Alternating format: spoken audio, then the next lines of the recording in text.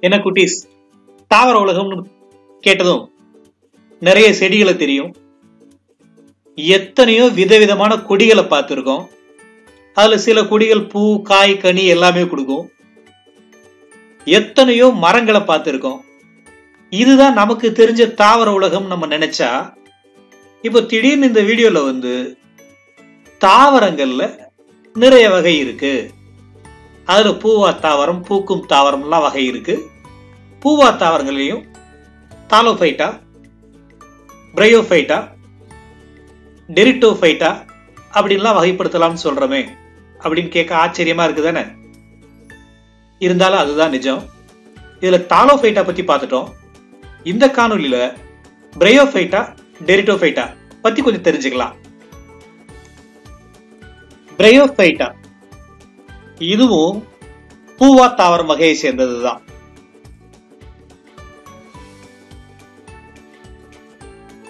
தாலோஃபைட்டா மாதிரியே பிரையோஃபைட்டாவுக்கும் சைலம் குளோயம் கிடையாது. இத தாவர உலகின் இருவாழ்வின்னு சொல்றோம். ஏன்னா நீர்லையும் வாழும் நீர்ப்பாங்கான நிலப்பகுதியிலும் வாழக்கூடிய தன்மையை இது பெற்றிருக்கு. அதனால இத தாவர உலகின் இருவாழ்வின்னு சொல்றோம். இருந்தாலும் இதோட வாழ்க்கை சுழற்சிக்கு நீர் ரொம்ப முக்கியமான ஒண்ணு.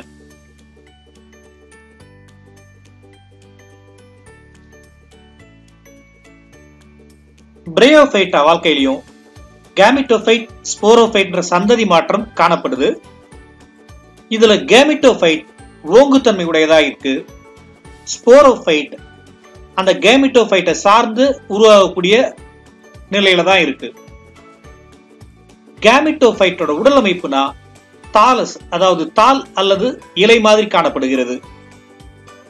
இந்த தாலஸின் அடிப்பகுதியில ஒரு வளரிகள் காணப்படுது நம்ம ரைசாய்டுன்னு சொல்றோம். இதன் மூலமா தான் இதோட பற்றுத்தளத்தை அது பிடிச்சிக்க முடியுது. பிரேயோஃபைட்டால நடக்கக்கூடிய இனப்பெருக்கம் பால் இனப்பெருக்க முறையில நடக்குது. இதுக்கு ஊகேமஸ் முறைன்னு பேரு.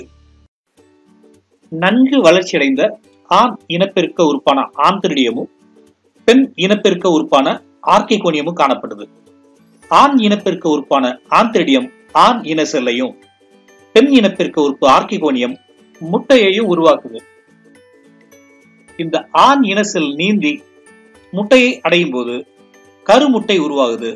இந்த கருமுட்டை தான் ஸ்போரோஃபைட் சந்ததியோட முதல் செல். இந்த பிரயோஃபைட்டா தாவரங்களை மூன்று வகுப்புகளா பிரிக்கலாம். அதுல முதல் பிரிவு ஈரல் வடிவமுடைய ஹெப்பாட்டிகே வகுப்பாகவும் இரண்டாவதா கொம்பு வடிவமுடைய ஆந்தோசெரட்டே என்ற வகுப்பையும் மூன்றாவதா மாஸ்களையும் நம்ம சொல்லலாம். இதுல முதல்ல ஹெப்பாட்டிக்கை பத்தி தெரிஞ்சுக்கலாம்னா ரிக்ஸியாவை அதுக்கு உதாரணமா சொல்லலாம். இந்த ஹெப்பாட்டிக்கே தான் பிரையோஃபைட்டல்ல காணப்படக்கூடிய கீழ்நிலை தாவரம். மாஸ்களை விட எளிமையான அமைப்புடையது. இதோட ஸ்போரோஃபைட் குறுகிய நாளே வாழக்கூடிய எளிமையானதா காணப்படுது. அடுத்து ஆந்தோசெரட்டே.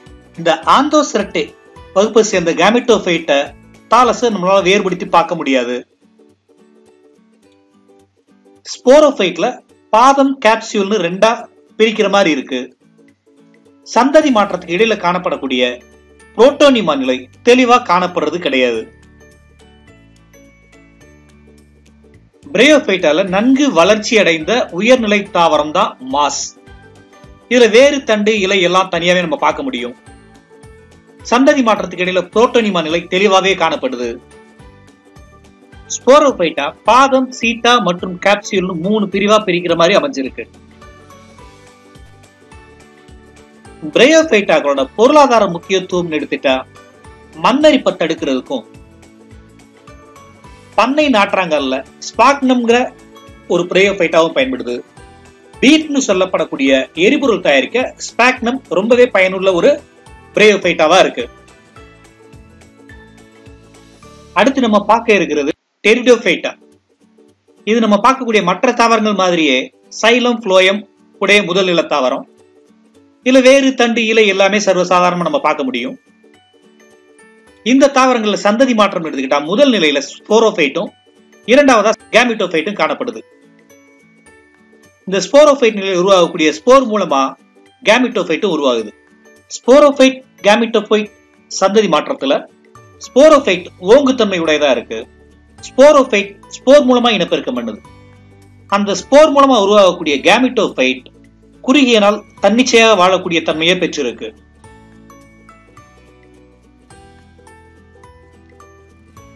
இதோட இனப்பெருக்கம் நகரும் தன்மையுடைய ஆண் இணை செல்ல உருவாக்கக்கூடிய ஆந்திரிலியம்னாலையும் முட்டையை உருவாக்கக்கூடிய ஆர்கிகோனியம் செல்லிருந்து நடக்குது. டெரிட்டோஃபைட்டாக்களின் வகைப்பாடுன்னு எடுத்துக்கிட்டா சைலாப்சிட்டாவுக்கு உதாரணமா சைலோட்டம் சொல்லலாம் ஸ்பீனாப்சிடாவுக்கு ஈக்விசீட்டமும் லைகாப்சிடாவுக்கு லைகோபோடியம் டீராப்சிடாவுக்கு நெப்ரோலிபிஸும் சொல்லலாம். இந்த மாதிரி நான்கு வகைப்பாடுகள் நம்மளால் டெட்ரோஃபைடாக பிரிக்க முடியும்.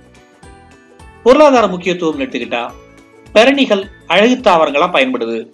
ட்ரையாப்டரிஸ் அப்படிங்கிற டெரிட்டோஃபைட்டா குடப்புழு கொல்லியா பயன்படுது. இந்த காணொலியில பூக்கும் தாவரங்களை பத்தி தெரிஞ்சுக்கலாம்.